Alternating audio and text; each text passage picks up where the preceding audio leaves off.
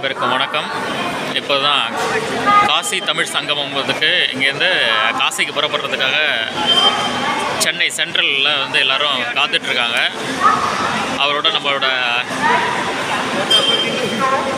நம்முடைய புதிய நண்பர் ராமேஸ்வரத்துலேருந்து வெங்கடேஷ் வந்திருக்காங்க. ஹாய் வணக்கம். சரி நம்ம ட்ரெயினில் இருந்ததுக்கப்புறம் பிறகு நம்ம சந்திப்போம்.